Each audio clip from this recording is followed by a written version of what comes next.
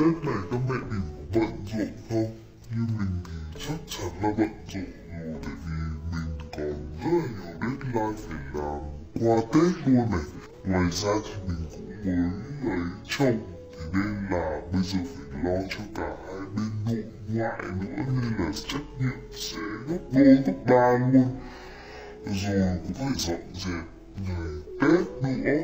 Nói chung là rất nhiều thứ phải lo nhưng mà cái mình lo nhất đó chính là vóc dáng của mình.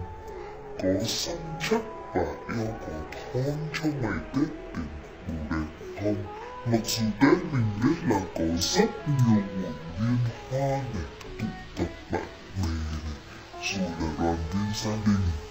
Thế nhưng mà cái việc mình duy trì cái thói quen ăn uống và tập luyện trong suốt ngày Tết ấy nó không những khiến cho các bạn có ngày Tết khỏe mạnh.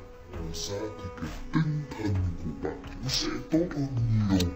Mình thì mình sẽ chia sẻ một vài cái bí kíp cho các bạn để các bạn chỉ giữ được vóc dáng ngày Tết nhé.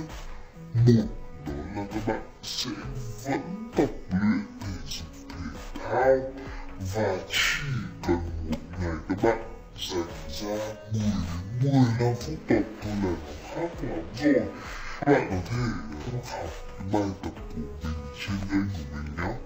Ngoài ra thì trong cái này nếu bạn nào có thể thì vẫn cùng theo cái chế độ là intermittent fasting như một cái thời gian chúng ta nhịn ăn thì nó ngắn hơn để cho nó thoải mái hơn ý bạn có thể ăn trong vòng 8 tiếng và các bạn có 16 tiếng nghỉ cái, cái việc mà các